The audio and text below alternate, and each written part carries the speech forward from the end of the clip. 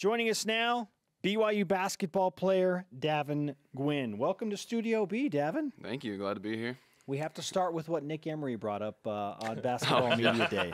Okay, we're gonna look at your journey to BYU and all that really fun stuff. You have a fun great stuff. story, but we're You not gonna start with that. You do have a fantastic story, but you ha- we have to ask about what Nick Emery said, and that is, I think Jeremy asked the question: Who is the guy that would be most willing to go shirtless during shirts and skins basketball game? And he's like, Davin Guinn. So true or not? What? Yeah, what is that about? Uh, you know, I don't know. I, I think we have a lot of guys that would be willing to go uh, shirtless when we play, but um, that would be willing to go skins. But I mean, you know, we work out a lot, and someone's got to do it. So uh, Who, if it's not you, who's the next guy in line then? uh, I think Eric or Eli would be right close behind Eli. me. Yeah, Yeah. yeah. That we makes hear a lot sense. about Eli and his strength and uh, just how pound for pound how strong he is. Oh yeah, strong guy. He's really strong. He's Okay, now, now let's get to He's your your lifting buddy. Yeah. that's fun for you, I Oh guess. yeah, no wonder. Yeah. Okay, Eli and Davin. Yeah, well, lucky you. Now let's get to your story, and uh, we'll let you take us through this. But just to set it up, you chose to turn down a scholarship, and and I'll leave it there. Walk us through what happened when you turned down a scholarship uh, to return to UC Riverside, and how in the world did you end up where you are now?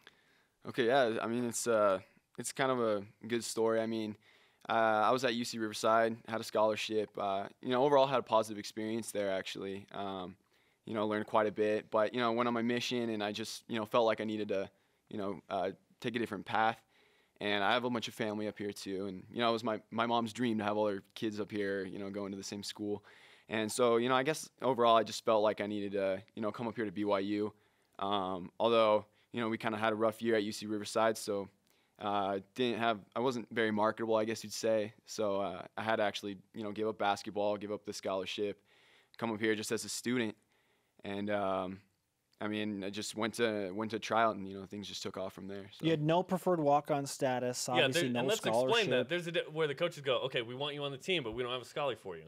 You were just straight up like, hey guys, you don't know me, right? and and then Yeah. tried out and made the team. Um, so what was it like? What was it like to do that? Just just to get on the team somehow. Oh yeah, well the tryout experience uh, that was kind of unique, you know, coming from being on scholarship and being you know one of the more of the go-to guys at UC Riverside, and then all of a sudden doing a just a regular normal tryout just with other students. Um, you know, I, I just you know kind of went into it just hoping hoping for good things, um, and they you know picked me up and uh, you know had me start practicing with the guys, and you know eventually just over time you know uh, you know the cards just fell fell in my favor and uh, spot opened up, so that's kind of how it went. The open tryout uh, has also been called the meat market for the coaches because they're just scoping it out, you know. And so, when were you contacted, and who contacted you after that open tryout to say, "Okay, we, we want to take a closer look"? Oh, that was uh, Andrew Andrew May. He uh, uh, gave me a call, and you know I got an email saying that you know I was invited to to come practice with him on Monday, and um, so I was scrambling to switch my schedule around, figure out how I was gonna make it because it just happened super fast. I just got an email, and all of a sudden I needed to Forget start my prac- humanities Yeah, class. American Heritage. See ya. Let's I'm- go. I got basketball nope, practice. Yeah. Yeah, yeah. So I kind of had to make a lot of changes, but I mean it was worth it.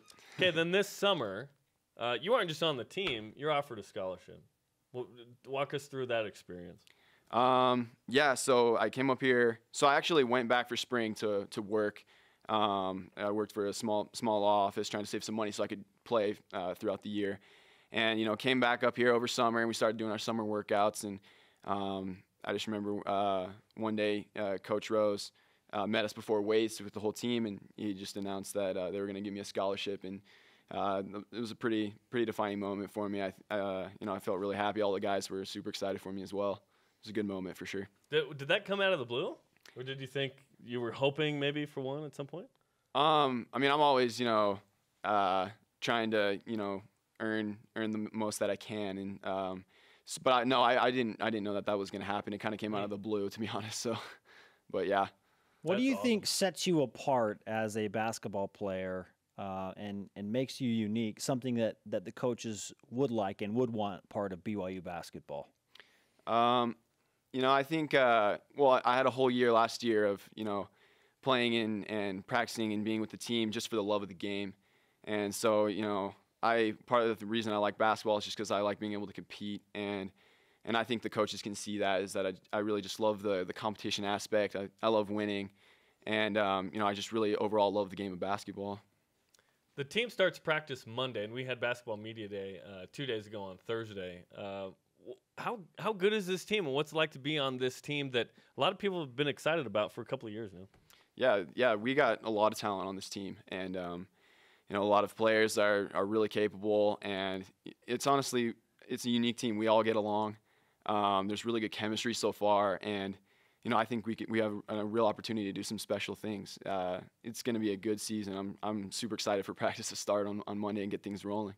I'm not surprised to hear you say you love practice because your coaches uh, and and I asked you what sets you apart. You say you love basketball and you want to practice, but your coaches say your ability to outwork everyone else is what they have immediately noticed and continue to notice.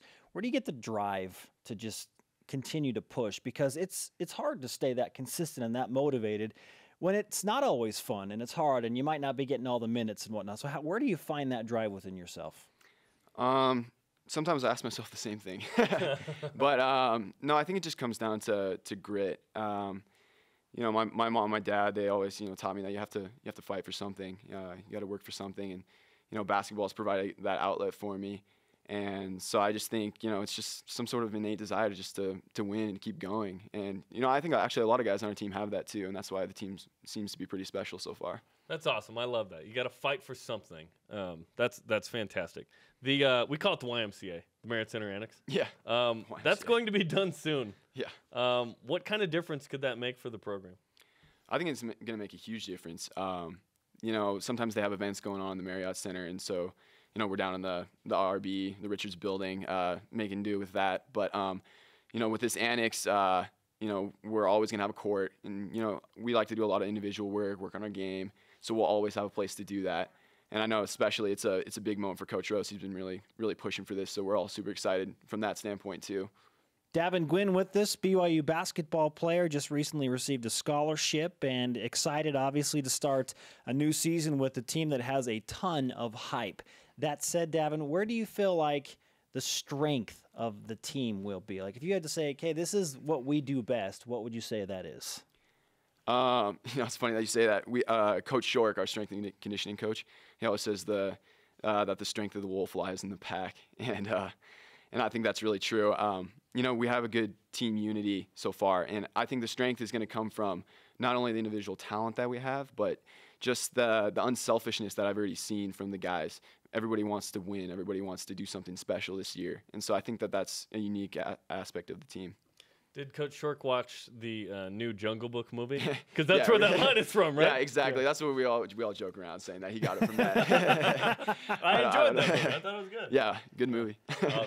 Davin, great stuff, man. Congratulations uh, you. on your success and progress. We want you to sign our BYU Sports Nation Stretch Y flag, okay. and we're going to Yeah. give you some uh, some BYU Sports Nation karma as well as you open up practice. Yeah, absolutely.